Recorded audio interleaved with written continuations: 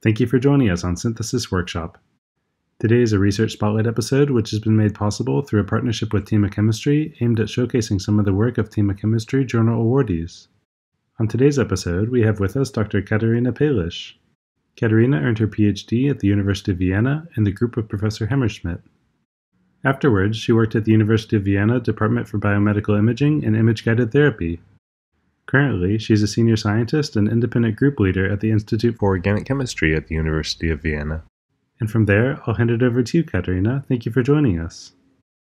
Hello, it is a great pleasure for me to have been invited as a guest speaker to this podcast series today. And I'd like to thank the hosts for the invitation and possibility to talk about one of my main research areas here, which is the stereoselective synthesis of phosphonates and phosphonic acids, either with or without isotopic labels, and um, how they can be used as very potent tools to study phosphonate enzymology. Me and my group are both developing general strategies to access whole sets of compounds and developing special methods to access single molecules of interest. But the main purpose of our work is always the same the compounds that we make are used in mechanistic studies of enzymes involved in phosphonate metabolism. Most synthetic organic chemists know a little or a lot about the synthesis of phosphonates and their applications as drugs. But the knowledge about their biological importance for the environment and about their importance as nutrients for microbes is often missing, so when thinking about the exact things I'd like to say here, I decided to set the focus of this podcast episode rather on why we are making these compounds than on how we are doing so. And to understand why phosphonates are interesting in this regard, I first need to talk a bit about their chemical properties. One of the main features of phosphonates is their potential to effectively mimic the tetrahedral transition state of amide or ester bond formation and cleavage. This feature alone might already make you think that phosphonates are high potential antimetabolites, and this is of course true, but there is another fact that makes them even more interesting as drug candidates, which is their high stability. And by high stability, I mean that the direct covalent phosphorus to carbon bonds that phosphonates possess can easily resist very harsh pH conditions high temperatures, and also the action of phosphatases. The combination of their stability and the effectiveness in mimicking different substance classes and transition states is the key driving force for the bioactivity of many phosphonates against microbes. The structures they uh, make are ubiquitous in nature and therefore phosphonates with a large variety of different biological activities are known today.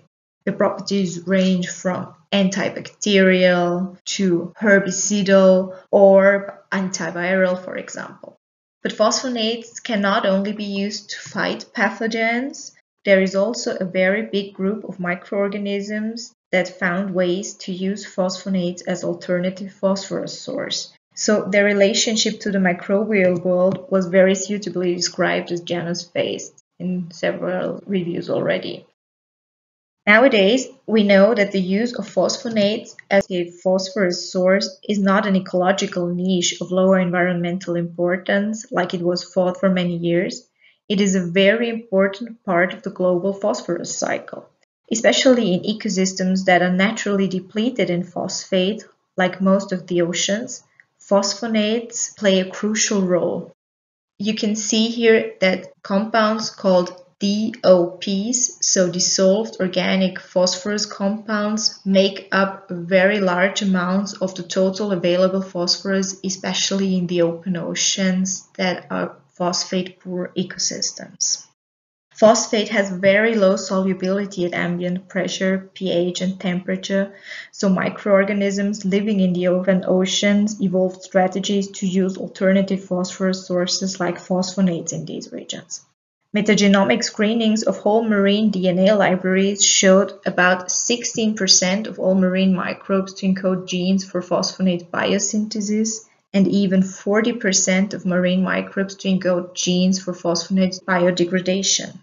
Despite their importance, phosphonates and their metabolism are a very underexplored area of the global phosphorus cycle, and the enzymes involved in these pathways have once been described as a treasure trove of unusual enzymology that still holds many mysteries for us. I personally like to compare phosphonate metabolism to an ancient map covered with many white spots and nobody knows what remains hidden there. There might be bioactive unicorns as well as dragons with dangerous properties influencing whole ecosystems. So we try to color some of these white spots by synthesizing potential intermediates, starting materials or anti-metabolites for pathways that haven't been explored so far. Our collaborators then use them in many different ways, either to study mechanistic details of known enzymatic transformations or to elucidate the structure of newly discovered enzymes, or possibly also to get a first hint at the function of a new enzyme. One example on how chiral phosphonates can be used was the elucidation of the detailed structure and mechanism of the enzyme complex PhnY star and PhnZ. This couple of enzymes was the first example of an oxidative phosphonic acid cleavage in nature. However, natural substrate wasn't known, nor was the stereospecificity of the enzyme. So we synthesized a variety of possible substrates and like this we could really find the natural one. By synthesizing both enantiomers thereof, we could show that the reaction catalyzed by PhnY star is selective to produce the R enantiomer of hydroxy AEP. This compound was also used to obtain the first crystal structure of PhnZ. And of course, we didn't stop there. We also evaluated other substrate analogs and their reactivity towards PhnZ. Another open problem concerning the biodegradation of phosphonates is the cleavage of fosfomycin. There are microorganisms known that can use this phosphonate as the sole phosphorus and carbon source. And you might now wonder why the exact pathway isn't known, even though we are talking about a compound of such high industrial and medicinal importance but still there are many open questions regarding this degradation pathway. So we synthesized a variety of different possible intermediates of this pathway for feeding studies with microorganisms that can use fosfomycin, as already mentioned, as the sole phosphorus and carbon source. However, there were both problems with the uptake of our first set of compounds, as they are highly polar, and difficulties to prove the existence of certain intermediates. So analogs and anti-metabolites were needed, which we also designed and synthesized, but our hopes that they could be used to solve the remaining puzzles were unfortunately not fulfilled as our collaborators didn't succeed in reviving the cell culture that was needed for the testings. As already mentioned, synthetic phosphonates can also be used to elucidate the structure of natural products.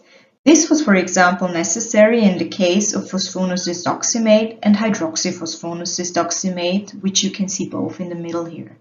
Both compounds contain a very heteroatom-rich central core, which made structural proof by NMR spectroscopy very difficult. We could prove that the proposed structures are correct by synthesizing phosphonocystoximate as shown in the green circle and comparing its spectra to those of the natural product. These two compounds don't just have very special structural features though, their biosynthesis is full of open questions too. But the first two steps of the phosphonocystoximate and hydroxyphosphonocystoximate biosynthesis could be elucidated already, and one of the compounds that you already met on the last slide, the one in red shown on top here, proved very helpful again to determine the stereoselectivity of one of the involved enzymes.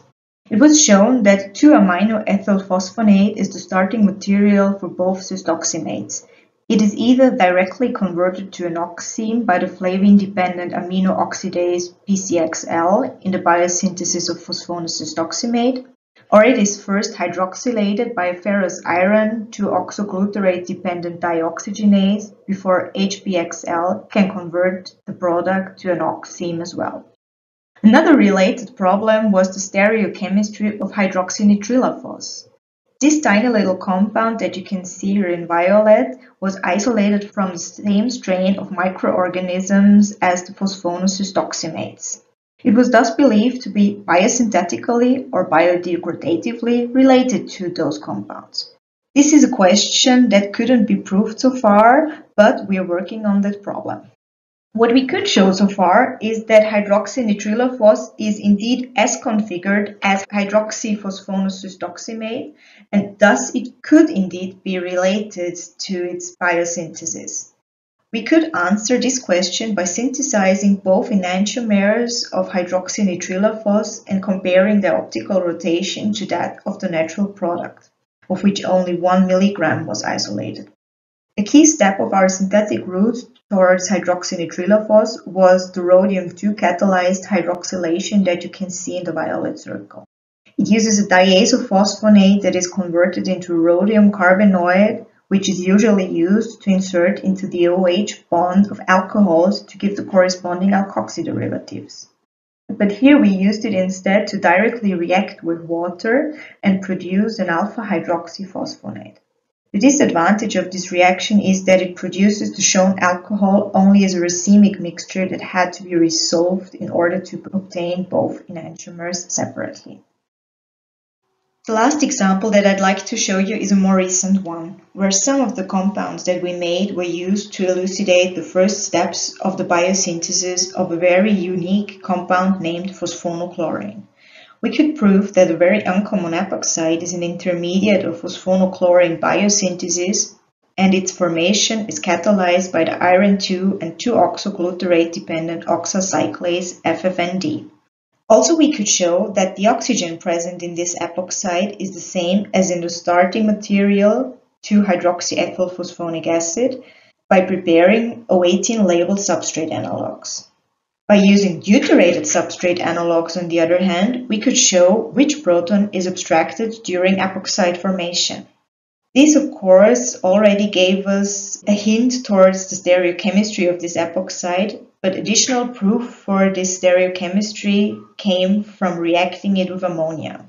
This yields 2-amino-1-hydroxyethylphosphonic acid, which is a natural product of known configuration and of which the optical rotation of each enantiomer is literature known. Only one of these enantiomers, namely the R1, reacts with the HD domain mixed valent diiron deoxygenase GmPhnZ. As the compound formed after epoxide opening with ammonia did not react with GmPhnZ, this was the final proof for the epoxide starting material to be as configured. And there are many open questions concerning the biosynthesis routes of compounds like hydroxynitrilaphos or K26, phosphinothricin or valinophos, just to name a few. And of course, the biodegradation routes aren't completely studied either, and there might as well be other ones that we don't even know about. The enzymology involved in phosphonate metabolism still holds many mysteries, and many known transformations are still black boxes where we only know what starting material is that we pop in on top and what the product is that comes out on bottom, but we have no clue on how the products are formed. Other transformations seem as complex as if they involved some kind of magic, and extraordinary enzymes involved in phosphonate breakdown are identified at a very rapid pace today, thanks to genomic screenings. So there is still a lot to do in this field for us and our collaborators.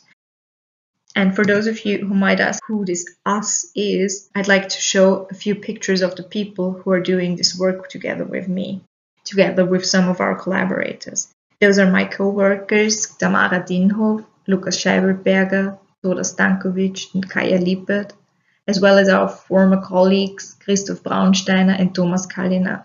And in the bottom line, you can see some of the collaborators doing the fascinating enzymology work that I've been talking to you about today, like David Zechel from Queen's University in Ontario, or John McGrath and Jason Quinn from Queen's University in Belfast, Alessio Peracchi from the University of Parma, and Martin Bollinger from Penn State University.